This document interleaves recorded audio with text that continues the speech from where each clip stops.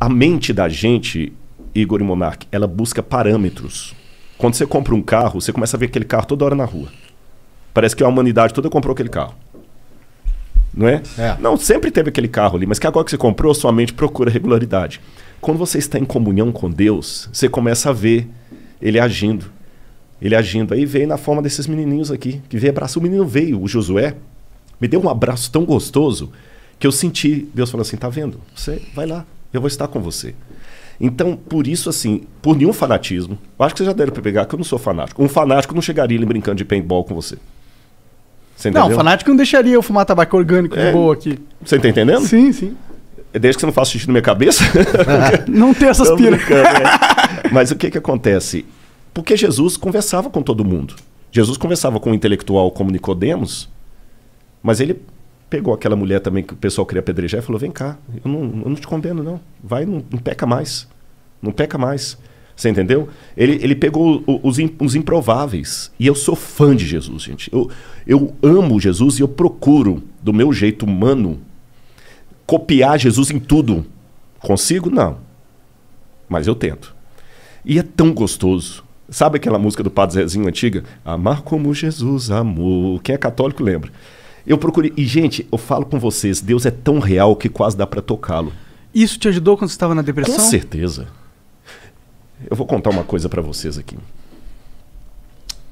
Olha, é a primeira vez que eu conto isso em, em rede, hein? Da hora. Mas eu tive que fazer terapia para contar isso aqui. Poucas pessoas sabem disso. Eu estava numa clínica tratando da minha depressão. Eu estava numa depressão tão severa que eu estava com o risco de suicídio. A pior humilhação que você pode imaginar eu tive. Eu tive um ex-aluno, porque eu dava aula na faculdade de teologia. E dar aula de teologia é mais complicado do que dar aula de outras matérias, porque é teólogo, pastor, tinha que ter um aluno comigo que é, aí nesse ponto eu, eu agradeço muito à igreja adventista. Nenhum pastor adventista ganha salário para ficar milionário, ter ilha, apartamentos, não tem. Mas a igreja também não me deixa passar vergonha. Ela cuida. O plano de saúde que eles têm cuidou de mim tudo ali. E o que o plano de saúde não cobriu, o, o diretor do, da universidade, do NASP, Rodrigo, o NASP vai pagar. Porque eu não tinha grana para pagar aquilo ali, nem o plano de saúde cobria tudo. E eles pagaram, eles cuidaram de mim. Então, apenas um parênteses para continuar a história. Quem vem para a igreja tem muitas decepções. Quando eu falei do crente pantufa, igual esse cara que me encheu o saco para saber quanto que eu ganho. O cara não. Com certeza, esse que ligou para mim não fez uma oração por mim quando eu estava com depressão. Ele queria o clickbait ali, Você né? na entendeu? Exatamente. Mas agora quer ligar para saber quanto que eu ganho. É, Você agora tá você entendendo? Não, não quer saber, não. Ele quer confirmar, porque já fez uma pesquisa Sim. do YouTube. Dá tal. pra estimar quantas pessoas é, fazem exatamente, tudo. É. Então, quer dizer, é, é muito, muito chato, sabe? Quando eu precisei, se eu olhasse religião por alguns, eu não passaria na porta de nenhuma igreja. Mas também, graças a Deus, eu aprendi, não sou oculista, mas eu do olho, eu não vou ficar olhando a remela. Que teve muitas pessoas na igreja também que me apoiaram. Então teve gente que me fritou, porque a igreja não é o paraíso. Às vezes é para-raio de doido, religião às vezes é para-raio de doido. Uhum.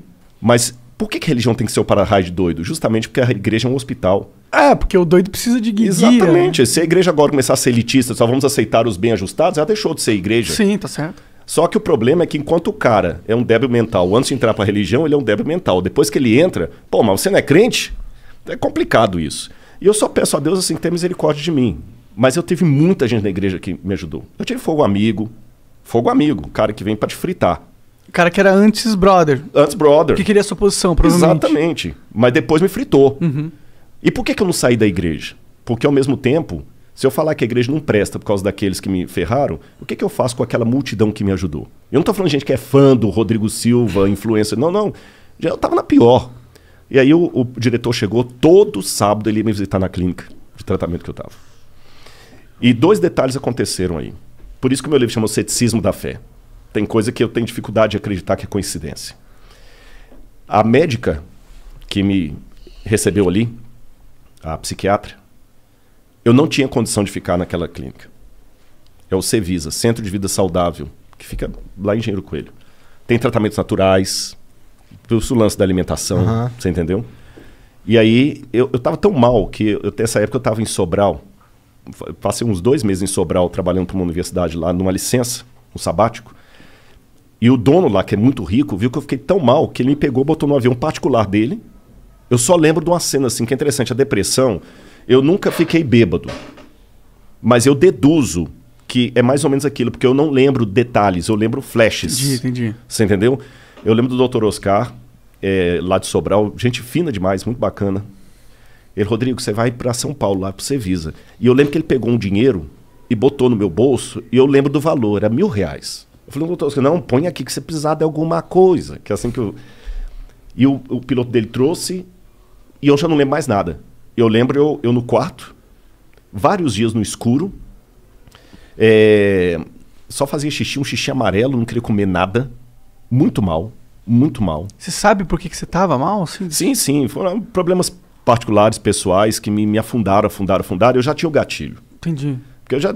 Todo mundo tem seus traumas desde a infância. Claro. A, minha, a minha infância foi uma pocilga emocional. Que o lar que eu tive, meu amigo, por favor. Minha mãe dormia com, com faca debaixo do travesseiro, punhal, falando que ia matar meu pai. Imagina você escutando isso com 6 anos, 7 anos de idade. O meu irmão tem o cóccix quebrado até hoje, violência doméstica. E meu irmão que já morreu, ele vivia falando que ia me matar.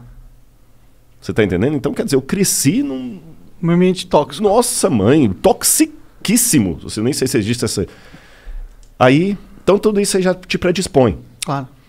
E. Mas não foi uma coisa assim de com Deus ou algum pensamento não, não, não. De, de angústia existencial, não era algo Não, assim? foi angústia existencial, porque tem uma hora que mistura tudo. Entendi. Vira uma salada de fruta. Você já nem sabe mais por que, que tá doendo. É, sabe o que que é você ajoelhar, querer orar e só, só chora? Eu não queria viver. Eu perdi a ligação com a vida. A verdade foi essa. E quando eu cheguei, eu lembro na clínica eu lá, e eu lembro das meninas tentando, Rodrigo, come, as meninas, as enfermeiras que ficavam lá. Não, não, não queria ver ninguém. E com pior, naquela época eu já era conhecido. Ah, entendi. Eu já era conhecido. Quando que você ficou conhecido? Porque, através, porque é o seguinte, eu tenho um programa de TV, Uhum. a TV Novo Tempo, o programa Evidências. Então o programa Evidências, ele vai ao ar e, e muita gente é conhecido, Evidências. Eu tive três entrevistas no Jô Soares. Ah, que da hora. É, e- e na época que o Jô Soares era, o, o, o flow da época era o Jô, não tinha internet. Pô, obrigado. não, mas é verdade, não, sem, sem bajulação. Vocês sabem que hoje aqui o, o próprio Vilela falou, não, os caras do Flow, né? É, aliás, um abraço pra ele aqui, não sei se ele Salve, tá assistindo a gente.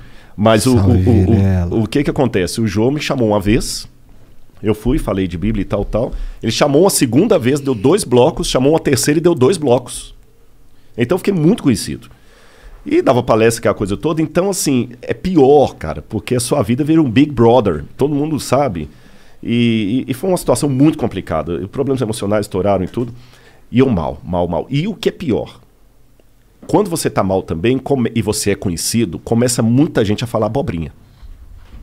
Aí muita coisa. Aí cada hora chegava, olha, estão comentando isso a seu respeito, aquilo a seu respeito, aquilo a seu respeito. Cara, tem uma parábola que fala da, das penas alçadas ao vento. Sabe? Que o pai mandou o menino soltar as penas lá, depois falou, agora vai recolhe. Não tem como recolher, falei, são como as palavras que as pessoas soltam, né? Então não estou entrando no mérito da questão, porque é uma coisa bem particular o que me levou aquilo ali, mas eu estava mal e com muito comentário que me arrebentava. E comentário de pares, de gente de igreja. Entenda um pouco como que é. É, e até vou dizer que bonito isso aqui, olha. Um pouco antes disso, eu tinha sido barrado de dar uma palestra na Unicamp, porque um grupo de professores ateus não queria gente falando lá que tinha ideia criacionista. Absurdo trazer esses caras aqui. O que, que eu fiz? Eu não fiquei batendo boca com eles. Eu marquei um almoço e fui conversar com dois lá. Com dois lá. Que eram dois dos cabeças. Um deles até era ex-crente. O outro, que era ateu, que estudou em Tel Aviv, quando falou Tel Aviv, eu fiz arqueologia em Israel, a gente começou a conversar, ficou meu amigo. Continua ateu.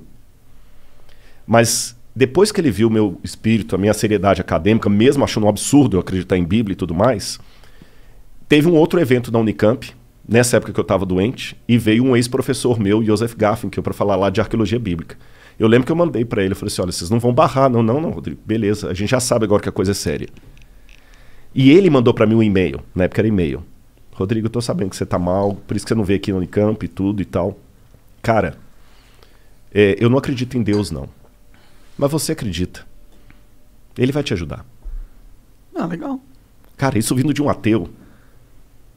E eu recebi até